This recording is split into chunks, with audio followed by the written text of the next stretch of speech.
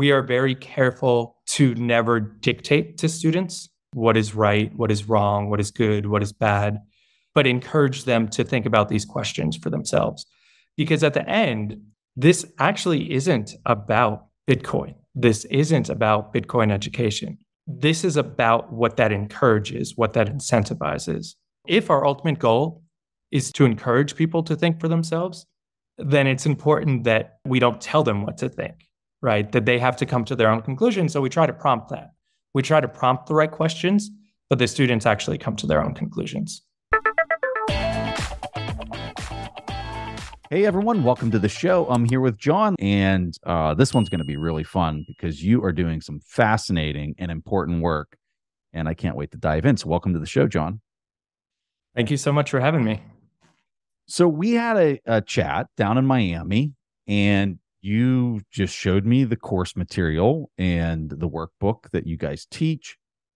I was blown away because I've never seen something just so well organized and just thoughtful in the way that this is laid out. And I just, some of the stories you were telling me about what was happening in the classroom were just fascinating. And I just couldn't wait to have this conversation with you. I guess my first question for you is what what started you down this journey to do this nonprofit and set this up in El Salvador? Like what was the impetus for this? Yeah, so I'm from New York originally. And I happened to be there when the pandemic hit. That would have been early 2020. And it was an interesting time to be alive, right? It was an interesting yeah. time to be in New York. And I had a lot of free time. so I spent that pondering the world, right? Like uh, mm. thinking, uh, it seemed very clear that we were on the wrong path. Mm-hmm. It mm. seemed as clear as ever that we were on the wrong path. So I I spent a lot of time having pretty negative thoughts, to be honest, thinking about like what the logical conclusions mm. are to the path that we're currently on. And then it kind of dawned on me that there is hmm. there is a hope. There is something that we can do. And I think Bitcoin symbolizes that for me. So during the pandemic, I thought, okay, we're on the wrong path, but Bitcoin could be a way to get on the right path. And and the reason why I say that we're on the wrong path and Bitcoin could be the right path is because I think one of the main things that that is important to me is critical thinking, is self sovereignty, is having agency in our own lives. Uh, and it was as obvious as ever that we had lost that, that we had gone away from that. And I think Bitcoin naturally brings us back to those values. So that was that was in my head already. By the tail end of the pandemic, I had moved back to Ecuador, which is a place that I had spent years in previously, uh, and I thought that I wanted to help people learn about Bitcoin there. Ecuador was a much different place than New York. It was a place that needed it more than New York, and that I thought would be more open to change because they weren't at the at the top of the pecking order in the financial system. So I, I, I gave I gave a little bit of, of Bitcoin to to some people to teach other neighbors, coworkers, and tried to get something started. It didn't really get any traction. Part of that was the pandemic was still going on, and this was focused on like interactive in person stuff. Um, but I kind of forgot about it. And then a few months later, then El Salvador announced that they were adopting Bitcoin as legal tender, which was a really uh, it it it like shook me, right? Like it, yeah. it was in disbelief, to be honest. Like it took me a few days to come around, like that this is this is real, this is really happening. Uh, I'm very interested in Latin America. I'm very interested in Bitcoin. Both of them have made up good portions of, of my adult life focusing on these two things. And this is Bitcoin Latin America. And it was not on my radar. Right. I was mm-hmm. like, okay, wow, this is this is a this is an earthquake. Uh, and then so I thought, okay, I want to help. I want to do something to make sure that El Salvador will be a success. So I'm going to go there. I'm going to go there. I'm going to live there.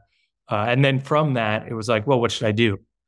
And then it was like, well, I wonder if this education thing, I wonder if that would have more traction in El Salvador. So I went there after having some initial some initial analysis, conversations with friends, just trying to work through some stuff, but not having any idea if it would be successful, if it would get any traction, if if anybody else would think it was a good idea. Um, so yeah, I, I, arrived in in August 2021, shortly before the law went into effect, with not that much more than an idea. You know, there was a website and like a mission statement and some basic stuff, but um, yeah, and and and really, really, it's it's taken off because it's attracted the right people, mm-hmm. uh, both both here on the ground, the people that that teach these courses, the people that develop the next courses, um, the people that that create the financial infrastructure. Like they're just really wonderful people that are committed to this idea. And and then outside of El Salvador, you know, like just even coming on this podcast and and helping with that. Like it's it's it's really taken on a life of its own since then. John, I can tell you honestly, the course material is off the charts phenomenal. Um, having gone through it, uh, like every single page in the course material, it's phenomenal. Um, how, how many students have you guys had go through the program at this point? Yeah. So we actually have a few different offerings. So we started out with just intro classes. Uh-huh. So in 2021, it was just intro classes, just a, a 90 minute one off. What is money? Mm, why do we need to change it? And then what is Bitcoin? Which is effectively what the Bitcoin diploma is, right? It's just a longer version of that, explaining how we arrived at this moment, like the history of money, how we've gotten here, and then how Bitcoin could be an alternative to that. So with the intro classes, we've had much more students. We had 400 in 2021. We had 10,000 in 2022. And this year we have as many as 5,000 per month now um, per month, five thousand per month. So they're, yeah, they're they're dialing in via video to go through the. No, this is all in person. No way. Yeah, this is all in person, and, and then so the Bitcoin diploma is something that is a little bit newer. It's about a year old at this point. Uh, it was developed in 2022, and that's that 10 week program that you know the course material that you had seen, and we that has doubled every the number of students has more than doubled every session that we do. So every like 10 week period. So we started with 38, then we did 100, then 200, 500.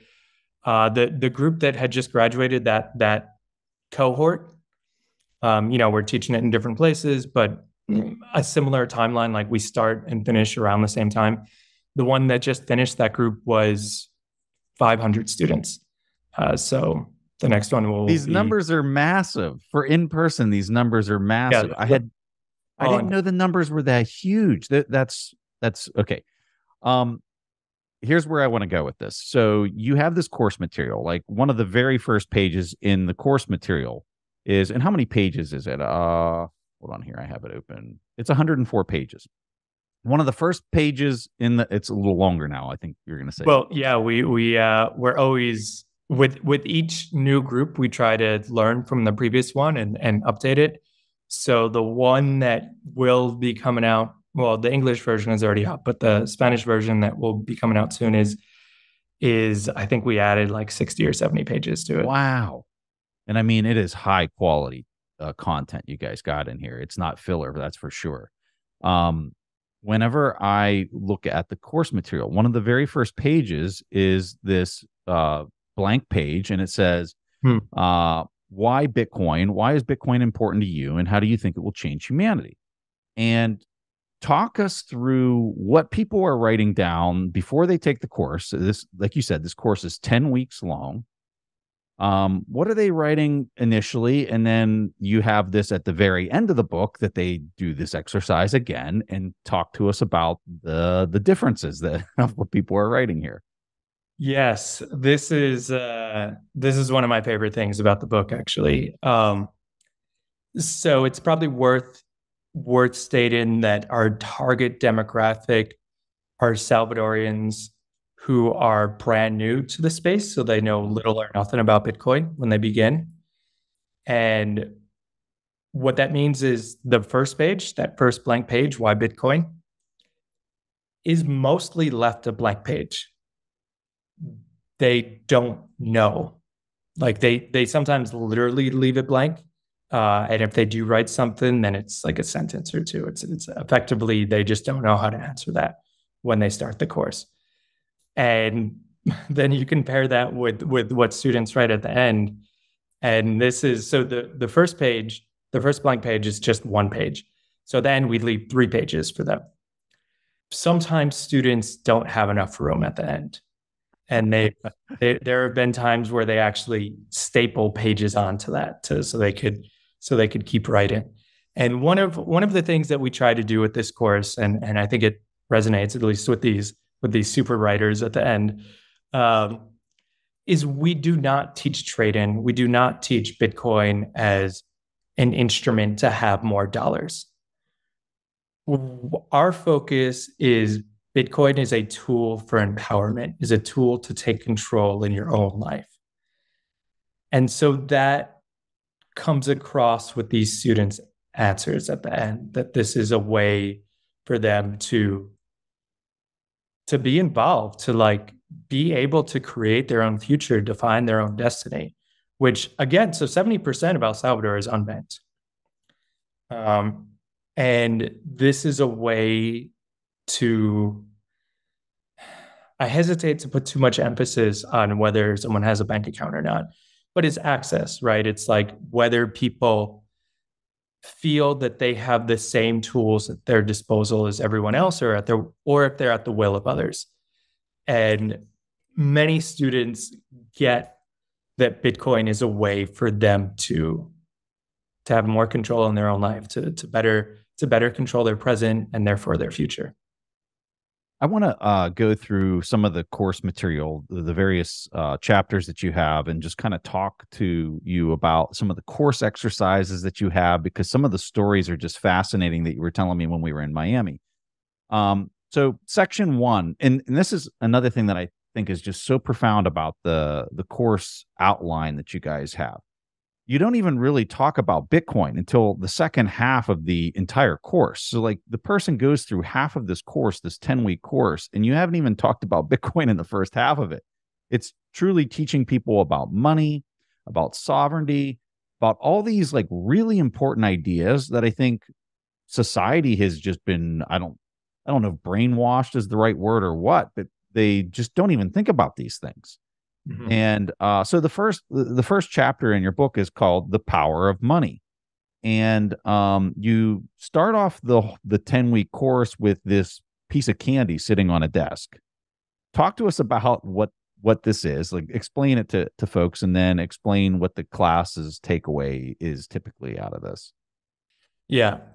So as you said, we start the the course not even talking about Bitcoin. We're talking about money, uh, and most people never even think about what money is or why money is, right? So one of the things that we do in the class, so so with much of what we do, we try to make it as interactive as possible. So one of the things that we do with the class is is we give them a piece of candy and we ask them if they would trade it for one dollar, one US dollar, which is the currency here in El Salvador, uh, in addition to Bitcoin. And everybody raises their hand. Everybody would trade this little piece of candy for a dollar, and, and who would trade it for one monopoly dollar? And nobody raises their hand. And that that is a really powerful way to encourage students to question, right? Encourage students to question why one piece of paper has more value than the other which is something that they've probably never done before. Like why why is is this paper and ink more valuable than this paper and ink? It's the fact that we don't question it which allows that to to continue, right? And and so much of what we do is trying to lead students to their own conclusions, but just kind of setting it up for them, making it a little bit easier for them to, to ask themselves the right questions. Uh, so this is it's probably worth worth saying that we are very careful to never dictate to students what is what is right, what is wrong, what is good, what is bad. Uh, but but encourage them to think about these questions for themselves. Because at the end, this actually isn't about Bitcoin. This isn't about Bitcoin education. This is about what that encourages, what that incentivizes. And our ultimate goal is to allow, if our ultimate goal is to allow people to think for themselves, to encourage people to think for themselves, then it's important that that we don't tell them what to think, right? That they have to come to their own conclusion. So we try to prompt that. We try to prompt the right questions, but the students actually come to their own conclusions. I love it. Shortly followed by this demo that you have, you immediately get into this idea of scarcity uh, and limited resources and time being an important uh, concept to understand when you're thinking about money. And when I look at just modern society, and you're looking at some of the stuff that's happening in Europe, that's happening in the US with respect to energy, and it's it's almost like the world has forgotten this really simple and basic idea of scarcity. And there's hmm. only so many resources to go around. There's only so much time to go around. And if we're just printing or making up these fictitious digital units at will and just keep adding them into the economy, that there's going to be a run on those very scarce things. So when you go through this idea in the classroom, I would imagine it's it's I don't know, a little earth shattering, or maybe it's it's it's immediately like generating this uh this challenging uh thought base for people that they're just like, I never thought about it that way. What, yeah. What, what's happening? Yeah, one of one of the really interesting things is so much of this is obvious in hindsight. Mm-hmm, mm-hmm. It's obvious once you ask the question, but we just never ask the question. Like we we grow up, we grow up in a world in which we just accept. We accept the way things are. We we we don't question them. And we're not really encouraged to either, specifically with money specifically with money we're not encouraged to question that we're, we're encouraged to just accept it and it's actually obvious right it's like once you take a big step back and you remove yourself from this and and and a lot of students get it right like we we try to encourage them to take that step back and remove themselves and like kind of see it with fresh eyes and it it yeah students there's like you you see it you see this aha moment that they have um and that aha moment is often, you know, it's often before we even get to Bitcoin. Mm. Because the the I think it's very important mm. in order to understand the solution, you have to know what the problem is. Amen. Yes. So, Amen. Yeah. So, so, so that's really the first half is you're trying to, without forcing them to understand the problem, to get them to think creatively on here is the problem. It's very obvious now, but I've never been afforded the opportunity to think from this vantage point and actually see it. Mm-hmm. Yeah, that's wonderful. And that's empowering. That's empowering, right? To be like, wait, this is this, this is this very important concept that dictates much of my life, which is money, which is synonymous with power and wait i could there's an alternative like there's there's i could be involved with this like this isn't something that i have to be passive about like i could be active about this i could have a say like that that by itself is very empowering in in the second section so moving along in in the course guide so you guys uh chapter 2 uh, you go through the history of money. You start off with bartering, you go to uh, the dollar, you provide this amazing uh, history. You get to CBDCs. But in this section, you have uh, something that you term uh, this is a popular economics idea, but I don't think I've ever even covered it on this show. Uh, it's it's called the double coincidence of wants. Can you explain this simply to the audience and uh, explain how it kind of fits into the history of money picture? Right, right. So it's not it's not just understanding why money is broken. It's also understanding why money is mm-hmm. right. So the double coincidence of wants is a really good example of why money is like money serves a purpose. Uh, if if we all have different things that we want and different things that we have, and the double coincidence of wants is that it only works if if what I have is the same thing as what you want, which usually is not the case, right? Like I have I have mugs and you have books and you want you want shoes. I don't have that though.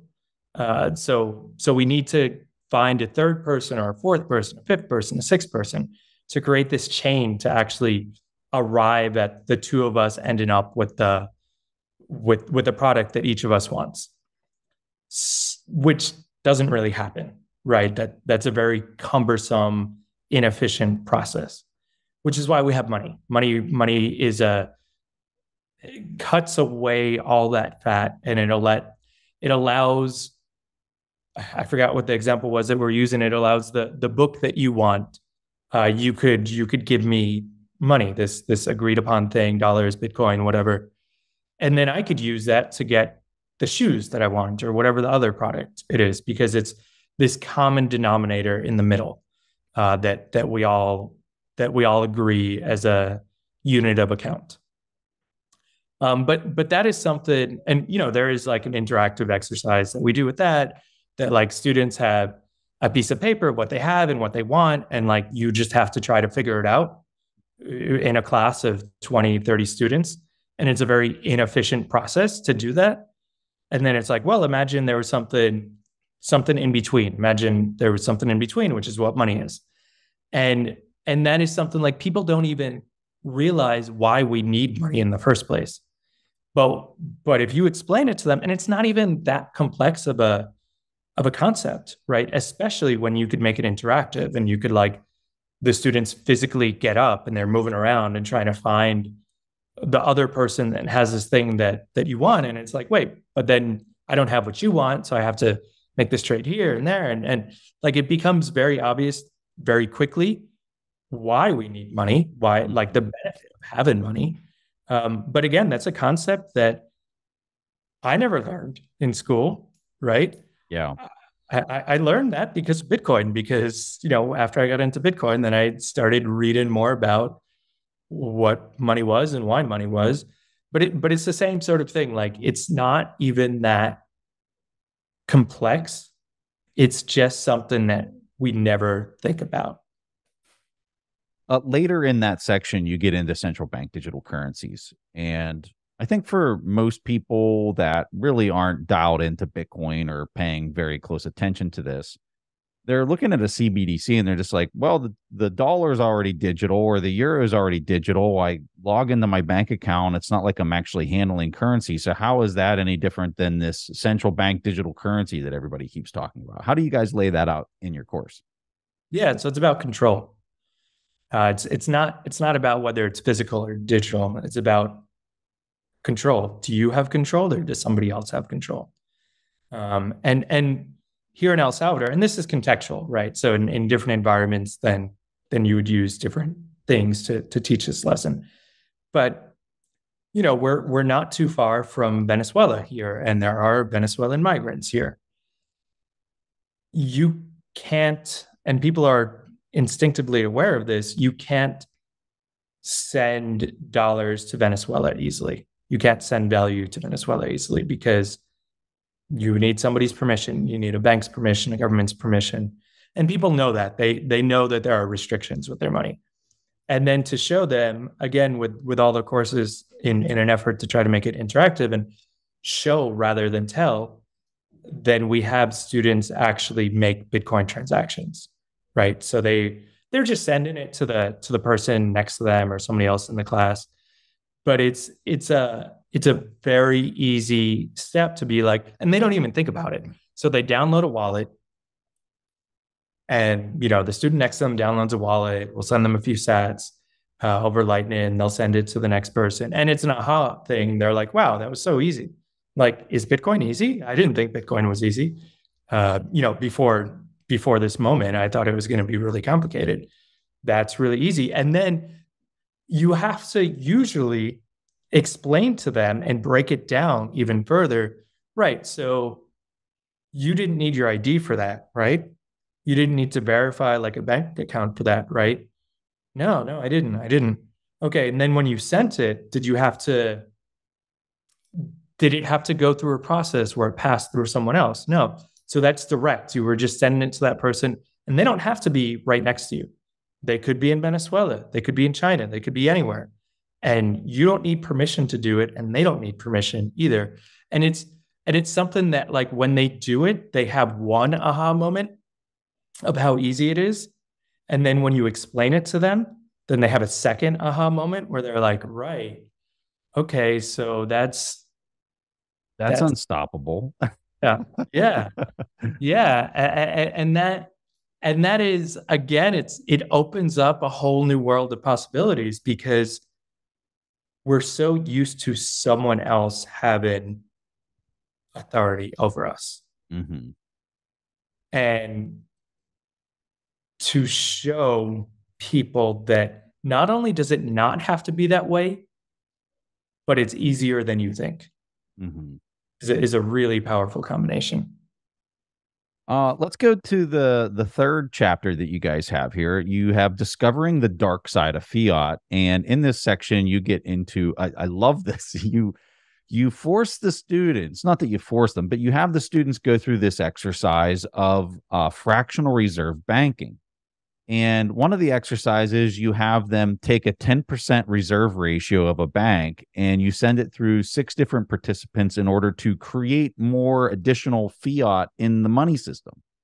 I'm curious as they're doing this drill, this mathematical drill, what are the comments or like what are the thoughts that, that they're talking about? I'm sure they're blown away that this is how the existing system works because most people don't ever do this in any type of education uh, public education process. Right. And it's basically the converse of Bitcoin, right? It's yeah, like yeah. The more that students learn about Bitcoin, the more confidence they have in it. Mm-hmm. The more students learn about fiat, the less confidence they have in it. To be like, wait, so when I put money in a bank, they don't actually like that that money's gone then? It's like it, it's yeah. It's it's it's but again, they don't question it. That's that's not something that we're taught to question generally. So yeah, the the more they learn about fiat, uh, the less confidence they have in it. Yeah, I would imagine they're just like, there's no way this is how this actually works, right? Right. Is that, is that pretty much the? Yes. Yeah. Yeah. Because it doesn't really. I mean, I don't know. This is a whole different debate that we could talk about. You know, whether uh, the the the benefits of of something like that, which I would not be on that side of the debate. I'd be on the other side. But uh, but yeah, it's it's the financial system that we have doesn't really hold up, right? Like the deeper you probe, the it's, less things, the less I it mean, is logical. When you perform these calculations, you realize that it's totally uh uh impacted by outside forces and the desires of of a few people pulling the strings and and conducting these calculations to make sure that there's enough units in the system and it's like oops uh well that person's really upset and they're really important so now i just you know i can just sprinkle a few more units in there and then that issue kind of goes away and you can just see how uh uh influenced. The mm-hmm. the legacy system is in this section. I love how you guys lay it out for the students to I mean, why didn't we ever do these calculations in school, right? I mean, it has to be by design, right? Um anyway, let's go to the let's go to the fourth uh, section. This is titled "The Future Can Be Decentralized: Empowering Communities and Individuals." In this section, you really get into the abuse of centralized systems. Uh, tell us maybe some stories or anything that that you think is an important highlight from this uh, particular section. Yeah, so this is, I think this is one of the more important chapters, uh, and and and maybe that's what the whole book is about, and that's what this whole question is about: centralization versus decentralization. And again, students understand this without realizing it yet. So some students have talked to us, ones that have had accounts with centralized system, like let's let's keep with money and and and with banks. They have had people have had their accounts frozen. People have, you know, kind of come up against these systems, these centralized systems, and they have had experiences with it. Um, so they know that. They know it without realizing it. And it it comes up in every part of our life this centralization versus decentralization question. Most students again it's it's they don't realize that there's an alternative mm. right? They don't realize that there is that there is something different. And and you know back to back to venezuela like people have we have had students that have tried to send money to venezuela and it's caused them a bunch of hassle right? It has it has flagged them and like created headaches for them. Uh, so they already know that's a broken system. They just don't know that there's a different way. So I yeah again i think in many ways this is the crux of of of everything really. Centralization versus decentralization is is is the they've is experienced that they they can feel it and that they that they've experienced but they haven't necessarily uh, maybe understand how capital controls actually work or remittances uh, how the, the plumbing of all of that actually works. But you lay that out in the course guide and they get you know all the details on how that exactly works um so let me let me just say this john. So here we are we're halfway through the the course guide. The students haven't really even played around or talked about bitcoin at all at this point. What's the general consensus? Are, are people have you have you lost many students? Is is the attendance up? Are they bringing their friends? Like where where are we at at the halfway point through the course? No students are generally excited here right? This is this is a subject that I think people are interested in without knowing. This is this is a brand new concept, but it it's it's interesting because it's a brand new concept for people to to think about money and to think about their relationship with money. And it's interesting because it's a brand new concept, but it's also something that is so relative to their own lives that they could feel that they could that they could see how it affects them usually it's one or the other. Usually things that affect us so much we're familiar with. Mm-hmm. And things that we're unfamiliar with don't affect us that much. This is that rare case where it's something that you know students see like this has real effect on me on my own life and i don't know anything about it mm-hmm. right? like oh, i want to learn more let's let's keep going yeah that's awesome um okay so chapter five, you're getting into the future of money. You're talking about Bitcoin. You introduce cryptography. And I'm just, you know, I've been talking about cryptography and Bitcoin for many years at this point. So it's not something that I really even think about all that much. But I'm sure for a person who's never been introduced to cryptography or how any of this works, it may be a little overwhelming for them to see this and say like what the heck are we even talking about? And how in the world is this money? Uh what what is the i guess how is how is it received when you do start to dive into it? Because it gets very technical very tech and, and you lay it all out in the in the multiple chapters that follow but i'm sure for a lot of people it's overwhelming at first. Yeah. Yeah and and and i think that the the book does a great job generally, not just here but throughout, of breaking down complex topics in a way that is easy to understand. And I want to I want to shout out Dahlia Platt and the whole curriculum team for for doing an excellent job there. Um, so this, you know, you talk about the difficulty of this, right? About this particular chapter but I think you could be you could say the same thing for the for the whole course. I believe that we underestimate ourselves. We underestimate humanity. this is pretty high level stuff, but the assumption in much of the world is yeah, it's too much for you. You can't handle this. Our assumption is the opposite. Our assumption is you can. Our assumption is that you are capable of, of understanding these high level concepts. And what we have found, we, we have found that to be true, right? That's been proven true.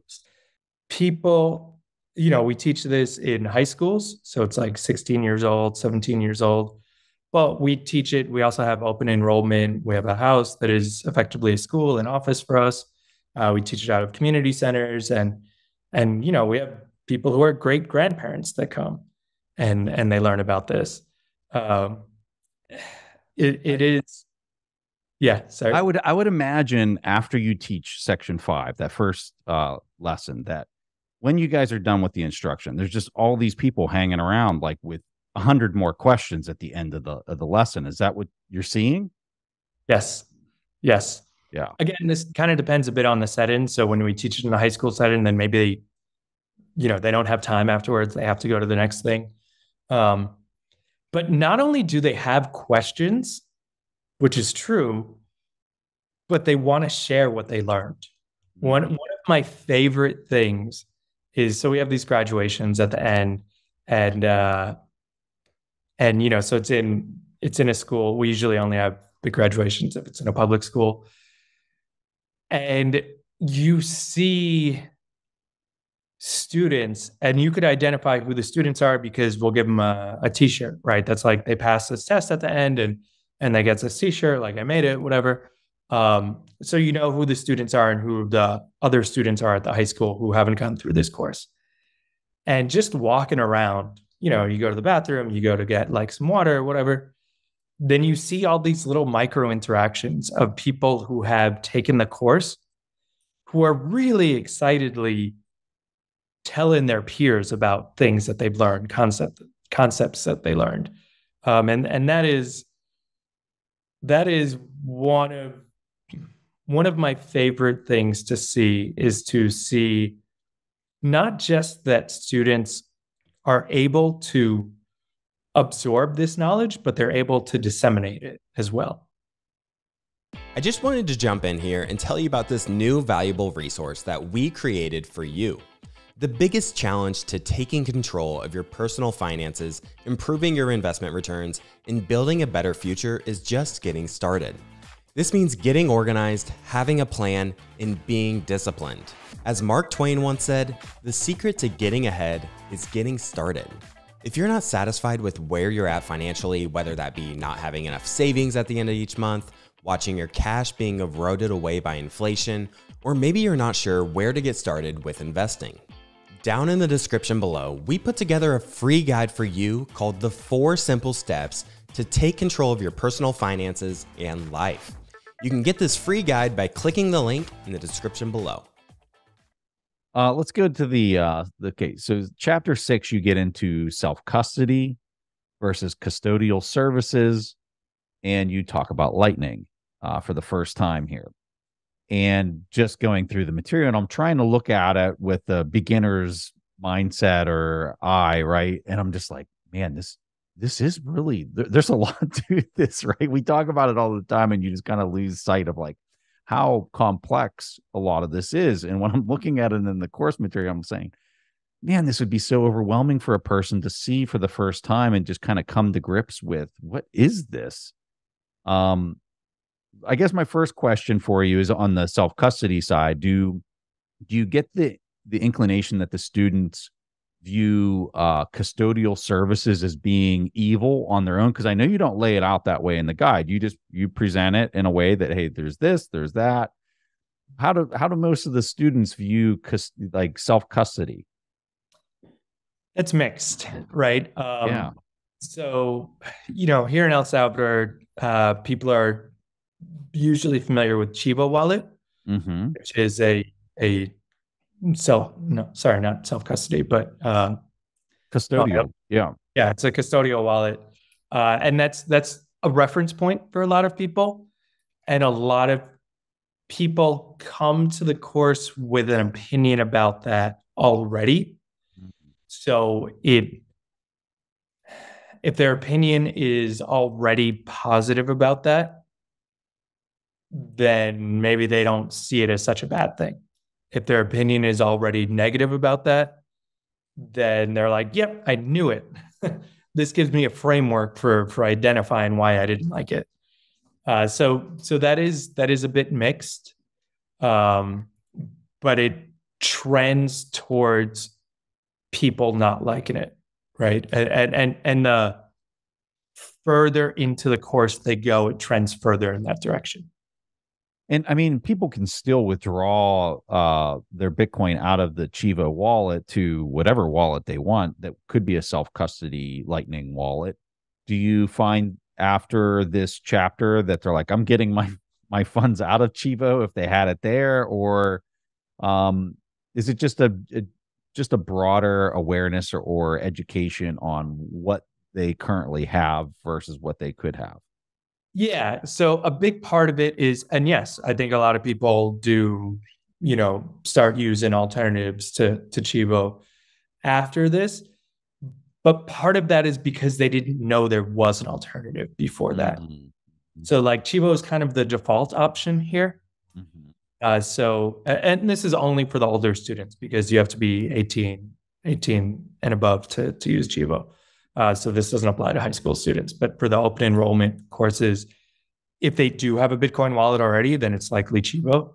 And yes, less of them use Chivo afterwards. But I think part of that, I don't think they become like crusaders against it, but they weren't even aware of the differences between that and and other products.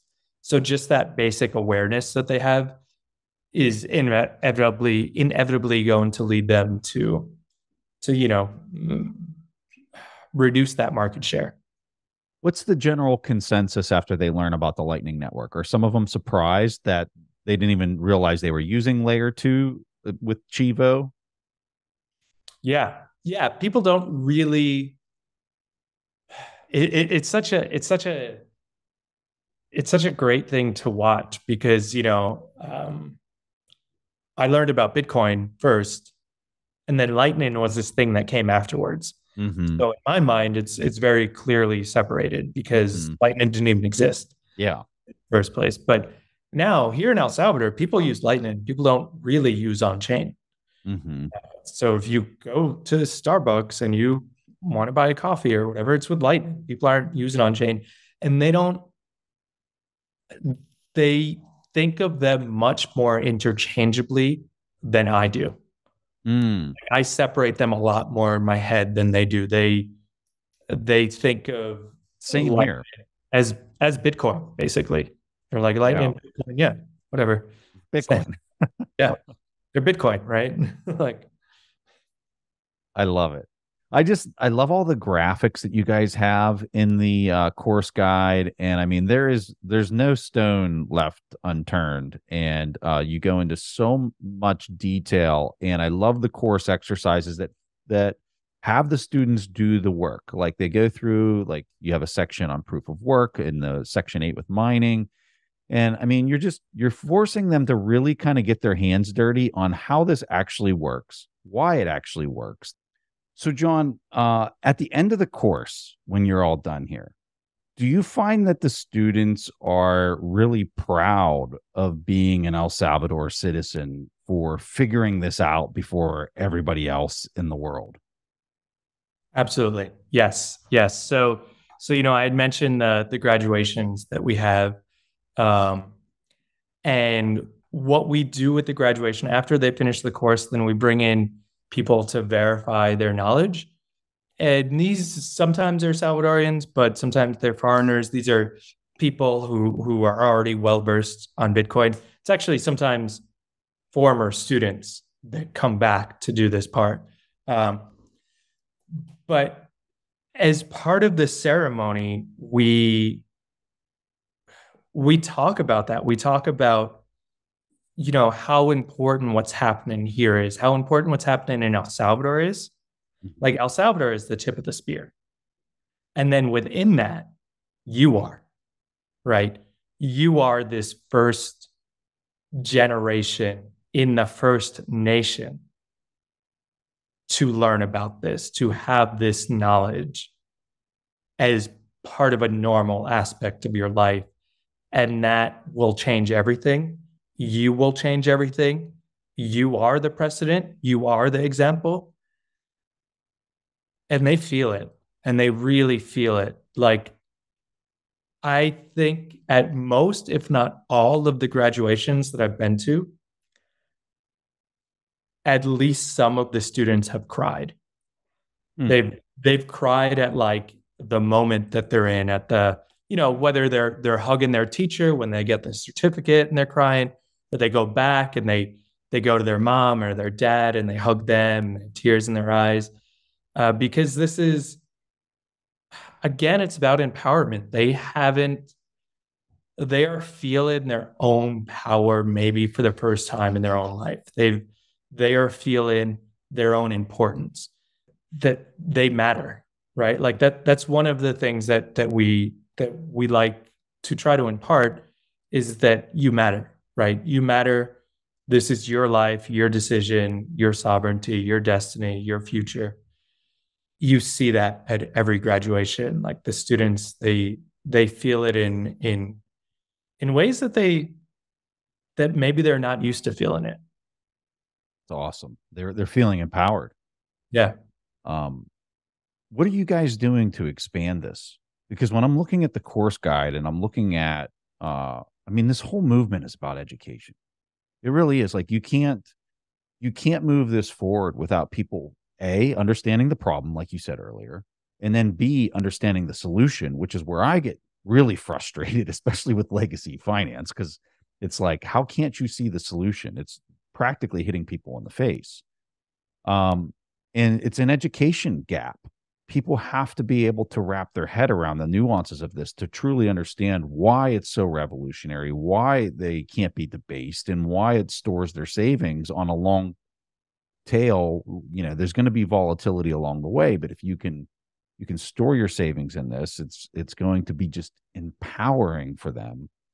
Uh so how can how can you guys expand this? Are you guys expanding this? Uh just give us a glimpse as to what you guys got in in the future here yes yes that's a great question um we can expand it we are expanding it we will expand it and the way that our strategy for that is is our strategy for everything is to empower others.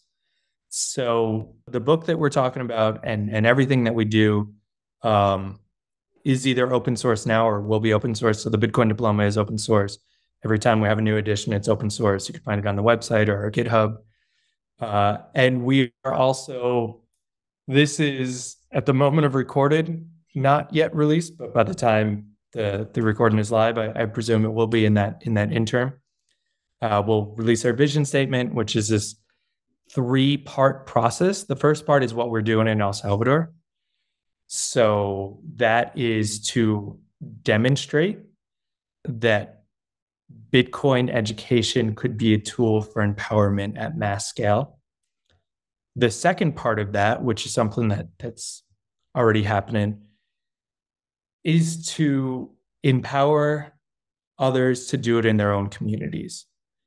So we are working, and this is just people who have reached out to us. We've never advertised this. We've never, this is literally the first time that I'm saying it publicly.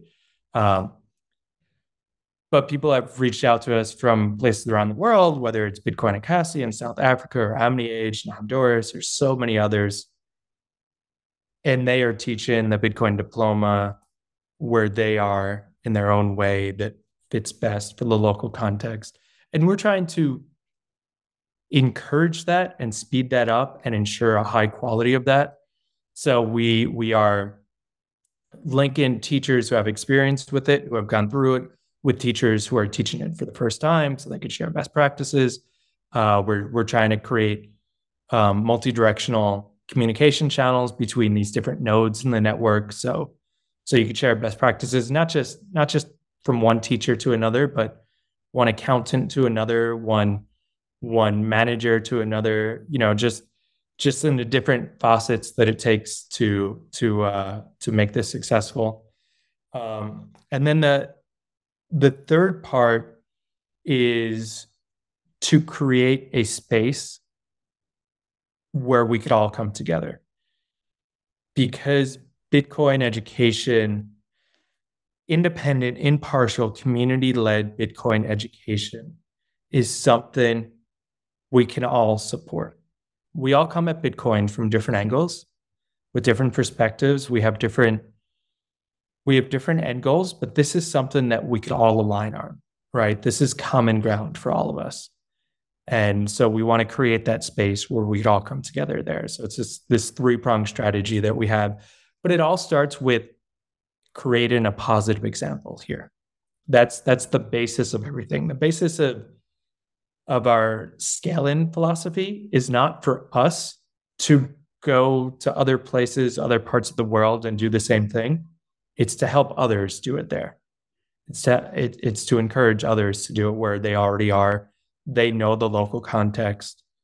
Um, and it's about decentralization, right? That's that's a whole that that opens up a whole can of worm, worms if we are if we are actually doing this everywhere like that that that becomes centralized then right so the the whole point of this is to empower others and that in, and that that means the students that we teach it means the people that work for the project here in el salvador but it also means the people that want to do something similar wherever they are.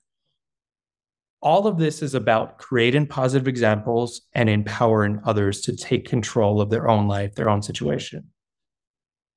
Well, John, I so the PDF that I'm looking at, the whole course guide is open source and people can go into the show notes. We are going to have a link in the show notes that will take people to the page where they can view this outline that I'm looking at, which is mind blowing how how incredible this outline is.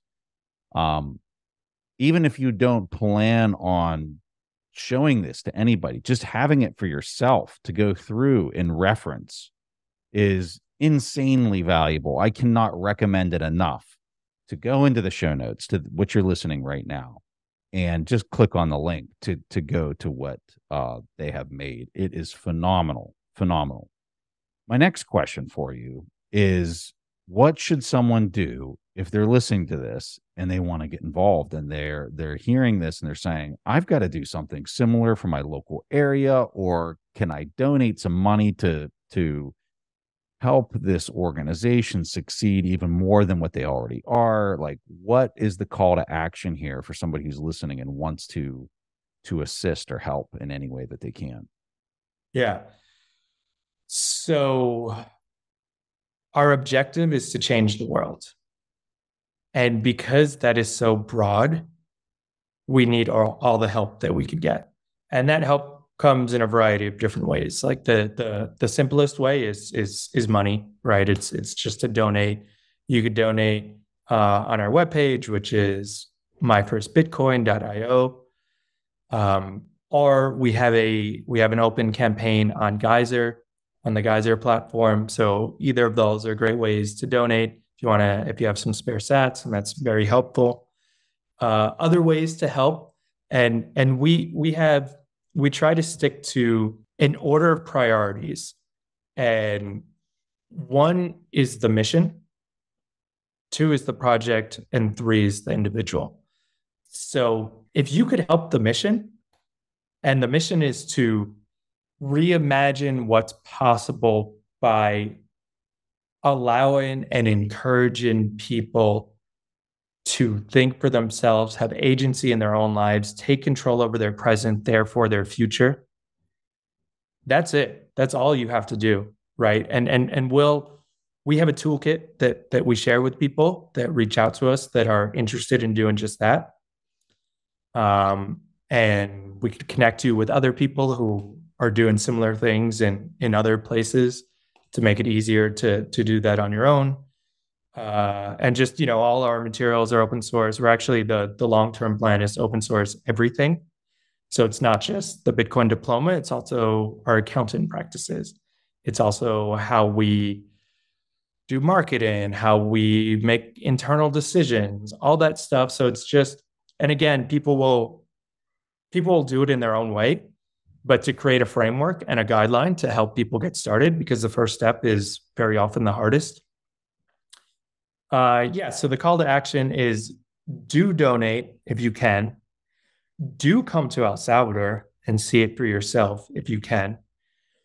Do join the project, reach out to us. And if you have a special skill, like you could help with translations, with web design, with literally anything that whatever whatever you're great at, and and you could donate your your skills, your your time, your energy, your passion, then that is super helpful to us because we need so many different so many different um, skills. And then the third part is you are you can do this in your own community. This is a global movement. This is El Salvador is the Genesis block, but it's not the only one. El Salvador is the example, the mission is the world. Cannot thank you enough for doing this. And uh, for folks that are listening, click on the show notes. Look at this guide uh, you're going to spend five minutes flipping through this guide and you're going to see what, what I'm talking about and how profound this is and how important this project is with just uh, very little effort here, folks. So uh, go into that. Please click on the link, check it out. And John, thank you for making time and thank you for your amazing efforts down there. Uh, this has been a real treat to be able to talk to you. Yeah, thank you so much for having me. Just just I want to give a quick shout out to the team. We are doing on Twitter right now, which is my first Bitcoin underscore. We are doing a share your story campaign because the team, which is about 20, 25 people here in El Salvador, they all are doing such incredible work. And this is, you know, the product of so many different minds, so much labor from so many different people. And and everyone is sharing their story how they arrived at this point.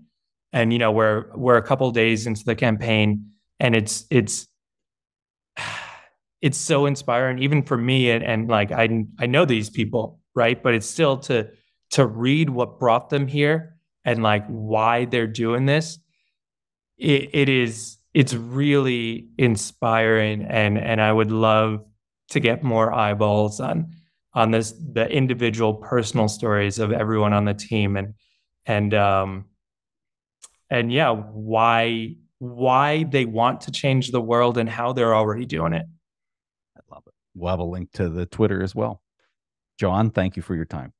Thank you so much people don't need to understand every nuance about bitcoin to understand that it's better money right they'll just feel that it preserves their purchasing power over time better. Just the same way people don't need to understand like the mathematical equations behind inflation for that to influence their behavior. Bitcoin adoption will grow because people will sort of feel and understand that it's better money, even if they haven't sort of sat down and like read all the books or understand all of the background information. And that's the hope, right? The same thing that's driving them to say, oh, I need to buy the new TV or I need to like get a new car right now. Instead of thinking about that differently, the opposite will happen too as people start adopting Bitcoin.